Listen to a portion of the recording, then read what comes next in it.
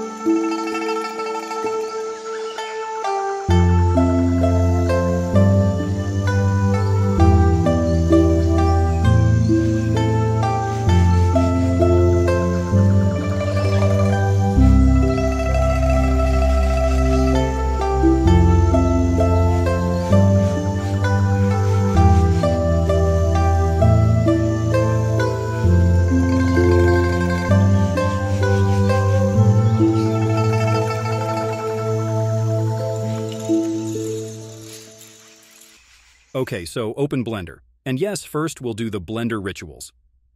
Okay, now we're good to go. So press Shift-A, add a plane. Press S to scale and press 3 to scale it three times. Now press Tab to enter Edit mode.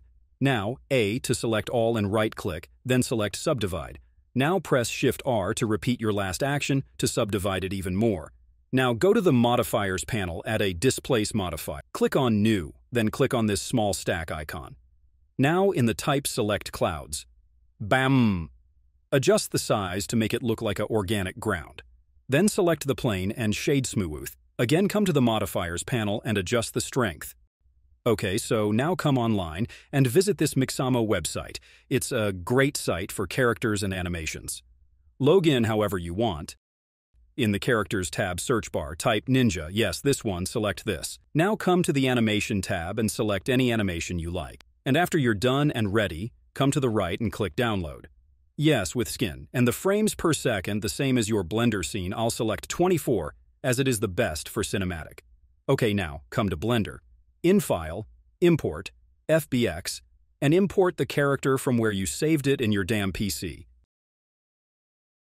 Woo, our character is already killing it, but his feet are clipping in the ground.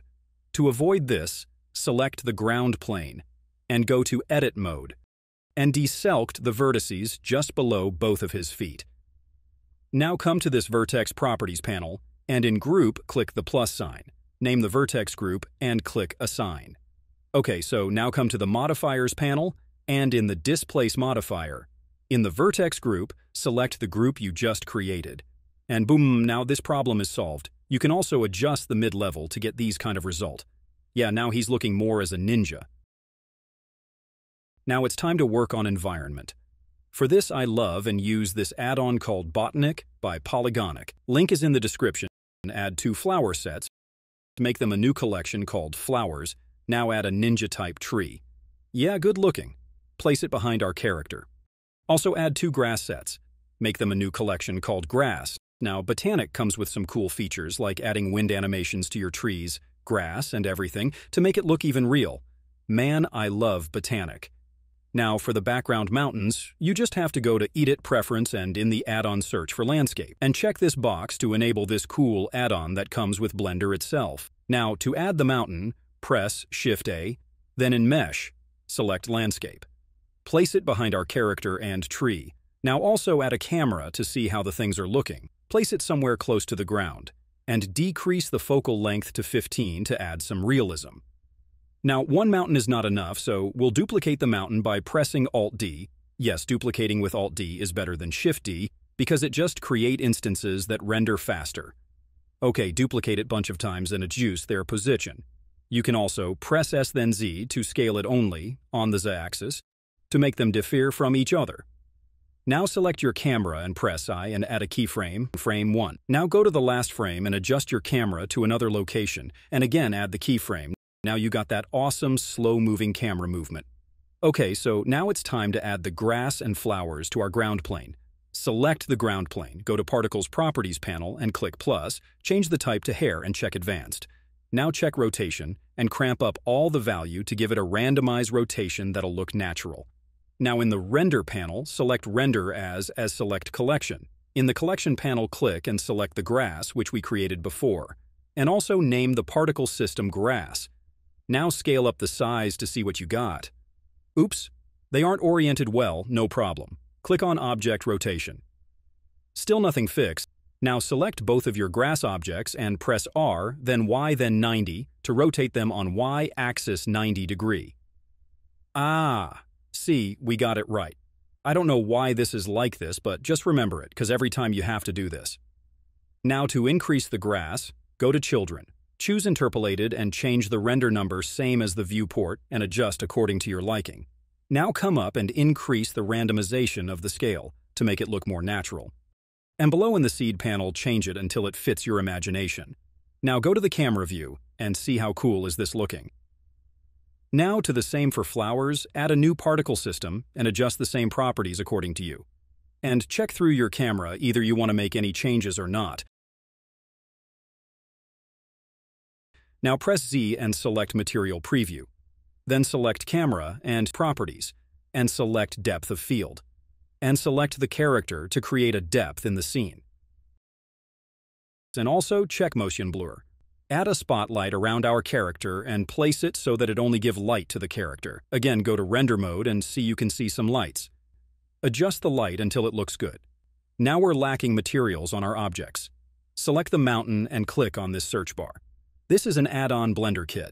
It's so useful as it is free and allows you to import objects, materials, scenes, and more. I'll Materials and Search Mountain. Then click this material to apply it on our mountain. But it isn't looking good. So go to the UV Editing tab and select all and scale down the texture until it looks good on the mountain. And as you can see, the texture is applied to all the mountains because we duplicated them with Alt-D. Okay, so now we want to make our back tree reddish in color. So select the tree and go to Shading tab. Click this down arrow and select Leaves Texture. Now set the hue value to 0.25 if you don't have this texture, you can simply add a hue saturation node between base color and texture map and do the following. Now we want to make our sky. For that, either you can use any HDRI from online for free, or you can add a sky pre-built in Blender that is so cool. Click on this yellow button and select Sky Texture. Leave it to Nishita. And make sure you're in Cycles Render Engine for better quality and result. And switch to Render Mode 321 and my goodness, how cool is this looking? You can also tweak the lighting from here and get the desired results. Again, to apply ground texture to our ground plane, you can search in the BlenderKit search bar in Textures panel. Click whatever you like. Now everything is looking awesome, but still the scene looks kind of empty. Yeah, we can add leaves falling from the tree in the background to give it a, an even cooler look. Add a plane and place it somewhere up on the tree. Select the tree and go to Edit Mode and select some leaves by pressing L. It selects the linked geometry where your cursor is pointing. Press P to make them a different object. Add a particle system for that plane. Name it Leaves Emitter. Check rotation and check Dynamic so they interact with anything dynamically. In Render as Object and select the leaves you just separated from the tree. Press spacebar to start animation. Nothing to see, don't worry. Increase the size. And yes, there we go. Now increase the randomness, make it look even better. But they are just falling straight to the ground vertically. So, in the velocity panel, increase the normal value to 10. Now it's looking more like a projectile motion. So in the velocity panel again, increase the randomized value to 5, and now you can see it's looking much organic and natural. Switch to render mode, and look at that, what we just created together. I can watch this all day long. So select the plane, and in the particle system, under Viewport Display, uncheck the box saying Show Emitter and now the plane will no longer be in the scene, but the particles will keep coming. So after checking all the render properties, render your animation. And after some compositing, our scene looks like this.